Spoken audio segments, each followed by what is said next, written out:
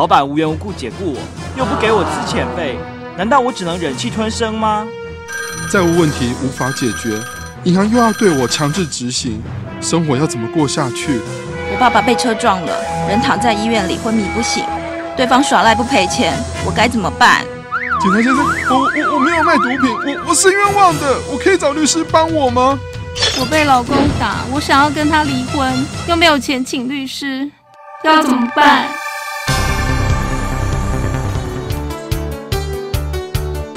只要您有法律问题，就让法律辅助基金会来帮助您。欢迎收听《空大桥》，法律你和我。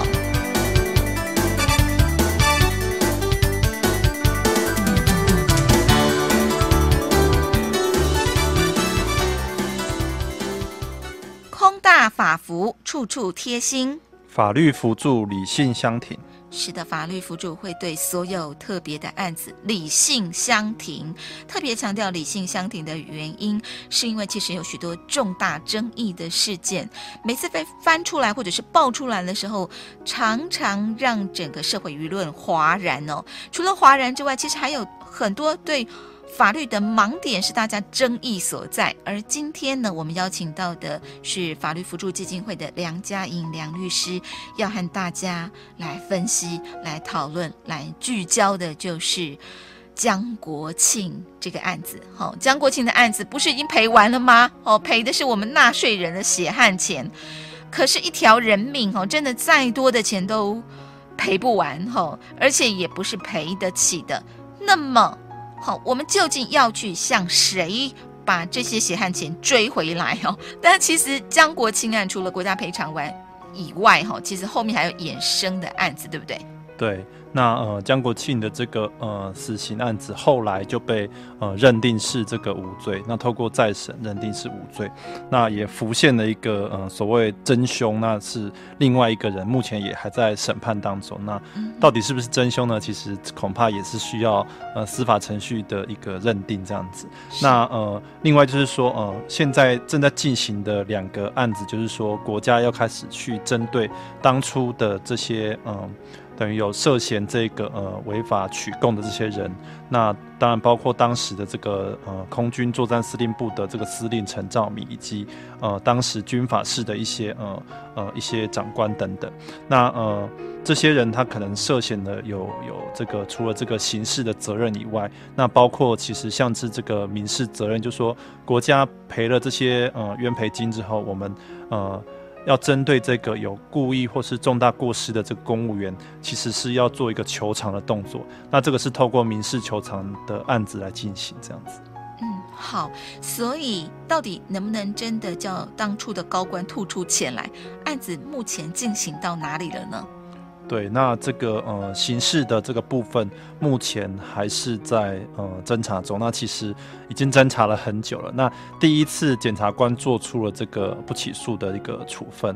那当然，这个告诉人就是江国庆的母亲这边也透过律师提出了这个在意，那就是针对说这个不起诉的处分，其实告诉人可以呃提出在意这样子。那最高检察署他其实也做了发回续行侦查这样一个处分。那第二次呢？呃，检察署这边还是做出了不起诉的处分。那呃，同样的，这个最高检察署也再一次的发回。那所以现在等于是第三度还在侦查，还在这个地检署还在侦查当中这样子。那所以呃，这个案子目前就还是呃，并没有真的去起诉这呃陈兆明等人。那不过呃，其实。呃，这其中里面有相当多的这个呃法律上的一个争议，是不是真的能够这样子认定说，呃，陈兆明等人真的就有涉嫌呃很多不同的罪名？其实呃确实是没有那么容易这样子。好，听起来不容易，可是普遍的，其实很多社会大众都在意，对不对？对，那这个其实呃也谈到，就是说呃，之所以为什么呃需要去就责，那当然也是希望说从这个事后责任的追究，可以防止说以后再发生类似这样子一个不幸的这个案例。那当然，其实呃，就责呃有很多的法律依据的。那当然有一些比较呃轻的罪，比如说呃这个剥夺他人的行动自由啦、强制罪等等。那这个是比较轻的部分。那其实比较重的就是有像这个滥权追诉，那导致呃被告死亡的话，那这个是比较重的罪，这样子。嗯，国家真的可以就责吗？因为刚刚听梁律师分享这个过程哦，那包括像这个陈兆明等人去追诉，不管是呃把钱要他们吐出来也好，或者是就形式上面对他们求刑也好，似乎好前面几次都是被驳回了嘛，对不对？对，就是说检察官认为说，哦，这个其实他轻罪的部分，检察官是认为说，呃，部分的犯罪他因为已经时间已经过了很久了。那我们刑法上面，但有一个所谓追诉权的时效。那这个这部分就是说，如果轻罪的话，已经犯罪行为已经过了，比如说十年，那这个部分呃国家就不能再去做追诉。那这个呃有部分的罪，像刚才提到所谓这个强制罪啦，或是剥夺。行动自由这个罪都是比较轻的，那检察官就认为说这些轻罪，虽然说这些人真的有涉犯这些，他觉得是有这个犯罪嫌疑，但是因为已经过了追诉权时效，所以他就做出不起诉这样一个处分。那其他像是重罪的部分，他就认为说是不构成这个犯罪。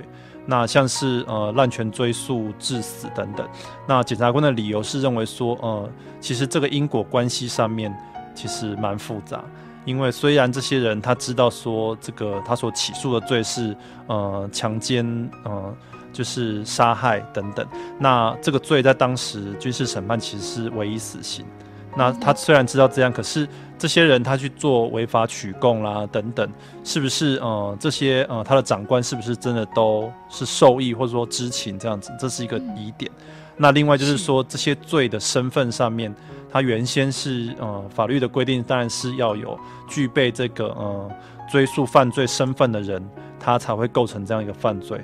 但是比较吊诡，就是说像是陈兆明，或者是说其实一些军法呃军事的这个反情报部队的一些参谋官等人，他其实是不具有这个呃追诉犯罪一个权限的人。那反而是这些人，他能不能构成这个犯罪，其实在法律上是有争议。那必然是说。他如果是在一个共犯的情况之下，是可以呃一起呃构成这个犯罪。那但是说共犯他其实是，比如说他们要有呃一起谋议啦，或者是说一起分担这个行为的这样一个过程。那你证据上面对，那你证据上面能不能呃去抓到这一些呃共犯的这样一个结构，其实是。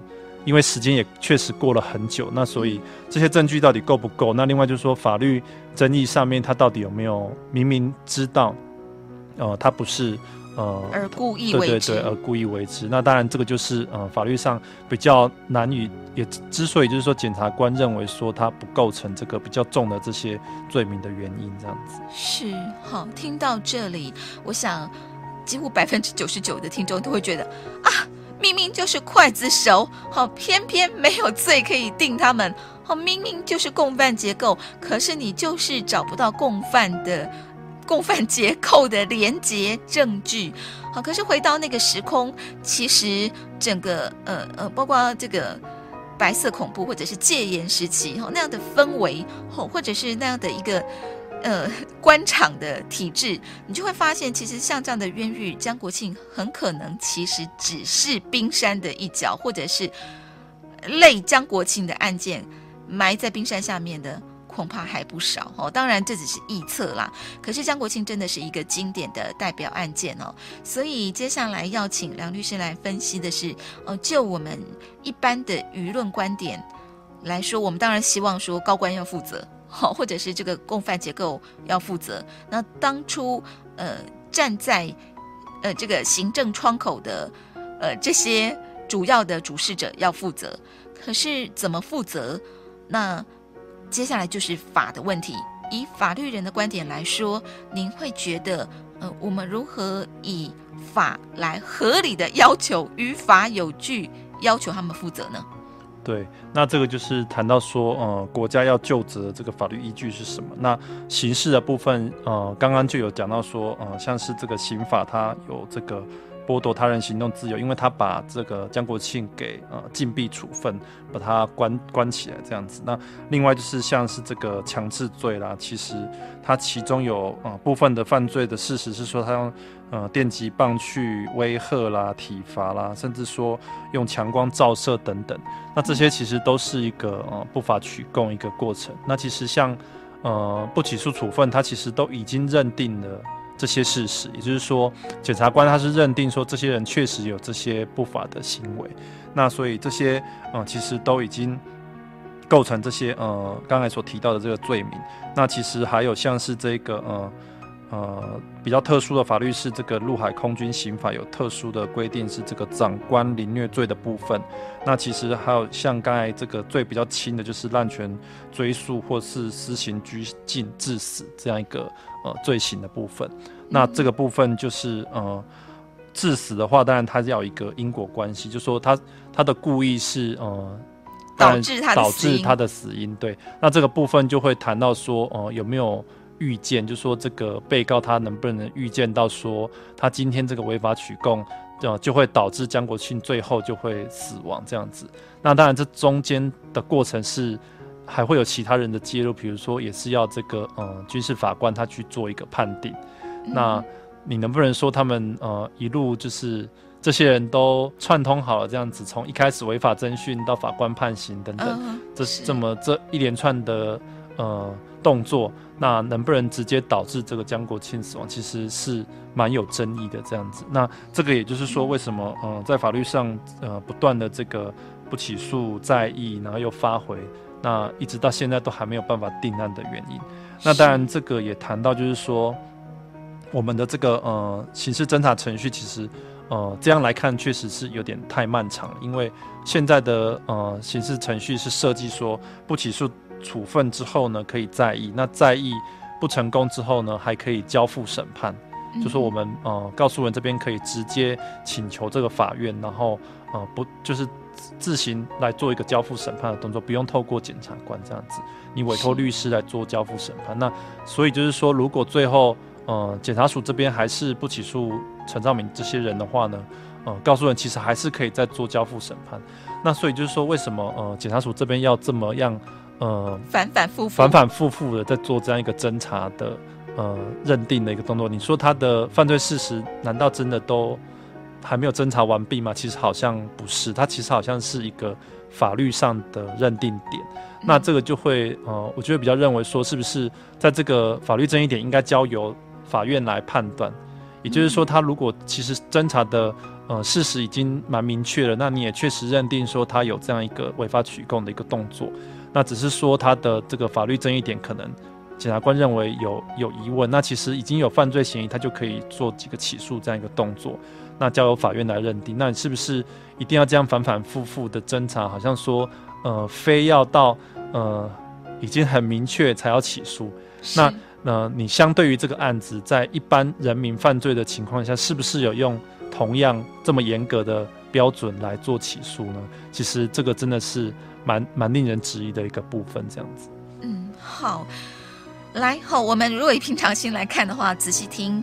刚刚仔细思考一下，刚刚梁律师分析的这段过程，如果我们是一般的人民、一般的朋友哈、一般的社会大众，是不是会被拿放大镜来检视哈？因果关系好成不成立？来，有因必有果嘛？可是因果可不可以连得起来？因为你寻求他，因为你拿强光照射他，因为你不让他上厕所，因为你辱骂他，而导致他最后认罪，认罪导致他最后呃。被判处死刑，这个因果关系能不能成立？那不断被发回，然后被驳回，然后检察官又提起，然后反反复复的原因，其实最终的呃这个关键点就是法的认定，法一定要因果关系成立了之后，才能够对这些人呃求刑嘛，对不对？对，那所以呃这个其实呃。就会谈到说，其实当然刑法我们是讲，就是说要非常明确才可以去做一个定罪。对，那但是就是说在侦查阶段，是不是已经要到嗯这么样已经几乎是认定犯罪的一个这样才可以起诉呢？这个可能就是呃有相当大的呃需要讨论的空间，因为其实呃法律的规定是说有犯罪嫌疑的话，检察官就可以起诉。那一般都会讲说有百分之五十的这个呃新政有超越了，其实就可以做一个起诉这样子。那当然判罪的这个认定要到这个无合理怀疑，就是说几乎是百分之九十几的这个呃。可能性的这个时候就可以做一个认罪，那就做一个判刑这样子。那所以说这两种标准不一样的情况下，是不是检察官他已经用了法院审判的这样一个标准在 在认定起诉？那这个可能就是我们要去去探究的这样子。好，前面的阶段到目前为止是呃根本还没有起诉就被驳回了。对，就是说在这个前面的阶段已经呃就侦查了这么久，到现在都还没有一个结论这样子，还不到起诉的，还找不到起诉的。理由对，好。虽然江国庆案在当时，呃，因为整个社会背景，好，当时还在戒严嘛，对不对？对。好，那可能发生在军中的案件，大抵都是如此的模式去求刑了。所以悲剧到底有多少？其实我们不晓得，哎，这真的是很大的一个黑数。只是江国庆案后来因为又冒出了一个新的犯人，好，所以他才能够得以破案。所以回过头来。江国庆为什么能够获得呃巨额的国家赔偿？是根据什么样的法令呢？呃，其实呃，他能够这个呃获得这个一亿多的这个冤赔金，那其实是呃我们原先有这个呃冤狱冤狱赔偿法，那后来修正成为这个刑事补偿法。那根据这个刑事补偿法的规定呢，他如果是有积压的这个天数，他每天可以用三千或是五千块的金额来换算。那呃，去赔偿这个被害人。那另外就是说，死刑的话，它有一个特别的补偿，就是说，呃，他去用他这个死刑当时这个呃国人的这个平均余命去算，他还能够呃，他如果没有被判死刑，其实他能够活多久？这样去去用每天五千块来折算这样子。那所以呃，从江国庆的这个案子，他换算的结果呢，就是大概有还可以。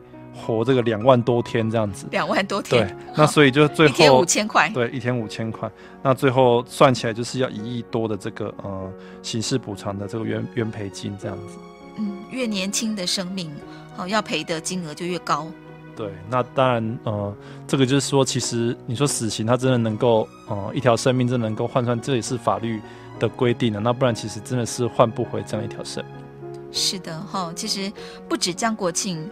这条年轻的青春的生命因此而消逝，还有他父亲后来后半生几乎也都在为他奔走，对，他母亲的眼泪哈，能够就是获得翻难，其实也是他他父亲的这个努力啊。就说这中间当然也有监察院他去呃去去调查，然后其实有呃有指责这个一个违法取购，那才会导致说后续有这个翻难。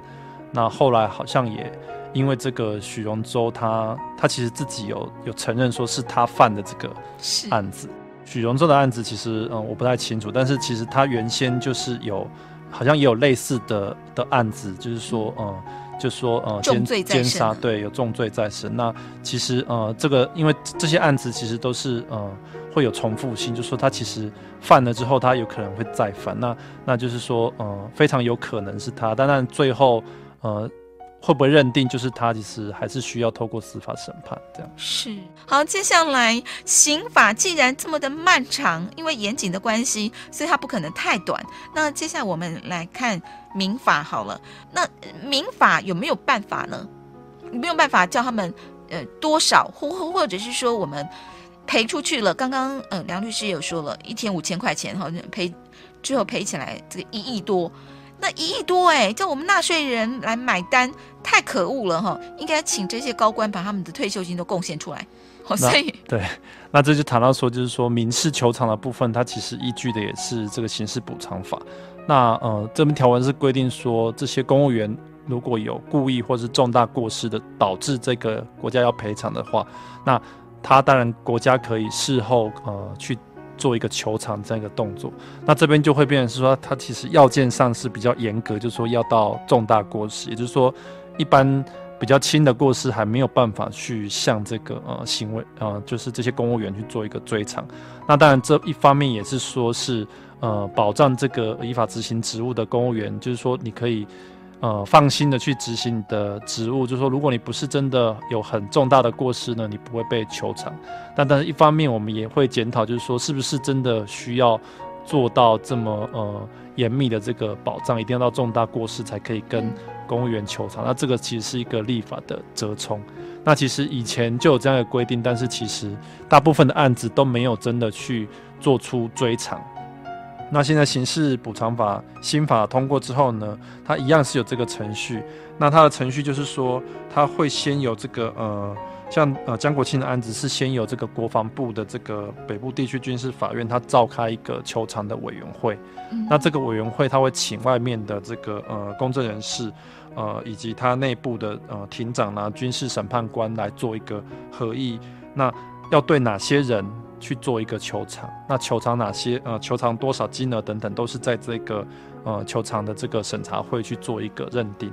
那呃球场的金额确定之后呢，他会先跟这些呃当初呃违法的这一些呃呃人去做一个呃请求，失职的公务对员，失职的公务员去做一个请求。那如果他不不同意支付的话，比如说呃他只愿意呃比如说多出多少钱来啊等等。那其他的部分就必须要透过去打官司、民事求偿的部分来来去做一个追讨。那其实像江国庆的案子，他其实事先还有做假扣押这样一个动作，就是说，呃，要发动起诉之前呢，他其实也就这些公务员的财产去去做了假扣押。那这个部分其实是以前也蛮罕见的，所以说，其实这一次也可以算是一个蛮特殊的案例，就是说国家真的有认真去做假扣押的一个动作。那是呃，如果未来真的已经判定说可以，他们需要赔出这些钱的话，可以确保说国家真的能够拿到拿到钱这样子。要不然到时候都脱产了。对，如果就是说没有做假扣押的动作，可能到时候都都脱产了这样子。因为其实呃，这些人现在也也没有薪资可以去去扣了，他可能都退休了等是等。，对，啊，不过他们还有那个这个我们优渥的退休金，所以这里哈、要奉劝我们这个普天下哈、全国的公务人员呐、公仆公仆，虽然福利优渥，可是这个碗可要端得好哈、你只要秉着良心，和秉着呃这个规范，好好的端这个碗，那么。就不会导致今天这票高官这个有前车之鉴哈，所以其实呃访谈之前梁律师也稍稍透露了，像江国庆的案例赔了一亿多元，其实呃之前是有先跟这些呃这个陈兆明等人协商，那他们也有认了一些部分金额，对不对？对，就说其实呃里里面有部分的人，他可能金额比较小，他就可能就认，比如说他其实是依照他的责任呐、他的呃当初违法征询的一些情节等等去做一个大官、小官、中对官，不一样的金额的求偿。那有些人他的金额比较小，他可能就不想要有后续的这个呃呃这个官司的缠的缠绕这样子，那所以他就认认了一个部分的金额。那不过大部分的金额还是都没有办法追偿回来。那现在是透过民事求偿的官司在进行这样子。嗯，好，所以呢，呃，小金额就公务员自己吞下去，大金额就官司打到底。要 其实这个官司，我想可能也是需旷日费时这样子。呃，该不会到时候这个陈兆敏都已经名垂千史了之后，我们还讨不到这这些的一亿多元？一亿多元真的是天价哎！嗯，哦，当然这个呃其实一条生命是无价的啦。可是你想想，是是广大的纳税义务人要买单，你就会觉得非常非常的不公平，非常非常的义愤填膺哦。好，民事求偿这个部分目前正在进行，虽然旷日费时，可是总比刑事要乐观的多，对不对？对。不过就是说，呃，比较令人就是说担心，也是说在民事这部分，他如果去呃去等待这个刑事判决啦，或者是说他其实想要参考这个民事判决呃刑事判决结果，那可能也是会嗯、呃同样的不乐观。虽然说我们法律上其实民事跟刑事是分开做一个认定，也就是说，他刑事就算不是犯罪行为，其实民事求偿还是可以继续进行，但是不过可能会影响法官的心证，会认为说我先等刑事判下来再对讲。，或者是说他如果刑事确定是、呃无罪无罪，或者说不起诉都确定了，那我民事这边是不是同样会认为说他有没有故意过失？这边其实就也是蛮有蛮有这个疑问的这样子。好，所以大部分法官的习惯哈，来会参考刑事的结果。就说像车祸，它其实有时候都是都是做这样一个呃相同，或者说会参考这样一个刑事的一个认定这样子。那不过其实呃，就法律上来讲，这个其实不是必然，就说其实法官他都还是可以自己做认定，不用等待这个刑事判决。江国庆的案子，我们分别请梁律师从呃刑事跟民事来分析。那最终哈，可能还是让大部分的听众朋友有一点难过哦，因为可能还是就全民买单呐。那刑事遥遥无期，也不晓得什么时候会有结果。呃，现在目前还在检察官反反复复的提起驳回，提起驳回哈，连起诉都是一个问题嘛。那因为当时的环境，那呃也没有办法去举证，好清楚的。去举证说，哎，他们的确是共犯结构，那有呃这个故意犯罪的行为导致江国庆的死刑。那呃民事求偿的部分，如果哎主审的法官他刻意要等待刑事的结果，那就会跟着遥遥无期，是不是？对，那当然这个其实呃民间司改会也都。其实他们在开庭的时候都有派人去去做法庭观察，其实也是社会上的压力也会让这个民事的法官想说，其实他应该要自己做一个认定，就是说到底有没有故意或重大过失这个部分，其实是一个压力。就是说他如果呃要一直拖的话，恐怕也也不是说社会舆论其实也会会有一些压力的这样子。是哦，不要再等了，等等等等等，好，自己勇敢一点下决定嘛。好了，这不是我们说了算哦。民间私改私改团体也在监督。那呃，就江国庆的案子，我想最后还是要给呃普遍的听众朋友们，我们来一个结论好了。要不然讨论了这么多哈，最后还是非常的听起来很灰心丧气，让大家觉得哦，这个司法已死。好，其实司法正在慢慢复苏当中，因为有像梁律师这样的人，好，因为有像法服这样的不放弃的团体，所以以江国庆的案子来说，我们最终可以得到一个什么样的教训？或者是醒思呢？哦，总要上课要有一点收获嘛。对，那从这个案子其实呃，也就是可以谈到说，为什么我们呃刑事程序必须要做比较呃严格或者说比较审慎这样一个呃认定的一个过程。那当然呃，大部分的民众都会希望说呃可以赶快的将恶人绳之以法。但是从这个案子就可以看到说，如果这个呃程序太过于仓促，因为像是军事审判，其实呃。这个发案发的年代，其实他已经已经也不是戒严时代，其实都已经是一九九六年了。那但是就是说军事审判，它其实有它的特殊性，就是说它的程序比较没有那么的严谨，那才会导致说这个军法也比较严厉。对，那就是说唯一死刑也比较多，那所以导致说很快就被判处死刑，然后枪决。那所以这个也是就是说，嗯，废死团体一直在要求，就是说其实死刑要审慎。就说他到底这个认定上面，如果只要一丝的这个怀疑，他其实就不应该去呃仓促的去判处死刑这样子。那这个当然也是我们可以从这个案子得到的教训。那另另外一方面，就说事后国家的呃补偿这方面，其实呃最近法令的修改其实已经做的呃比较好了。就说大部分的案件，其实如果最后被认定无罪，其实呃补偿已经是比较容易了。就说刑事补偿法修改以后。这个以前国家大部分的案子都不赔的情况已经呃不复见这样子，现在是大部分的案子都会去补偿，那剩下的只是说补偿金额多寡的一个问题。嗯，所以江国庆并没有白死。对他其实引发了这个我们后续追究责任，那这个其实也是过去司法比较罕见，就说其实以前大部分的案子就算赔了，其实也不会认真的去。向公务员做追偿，那这个案子其实也算是相较以前算是蛮 认真的去去做追偿。那只是说最后能不能真的追偿到，还要看后续的一个发展这样子。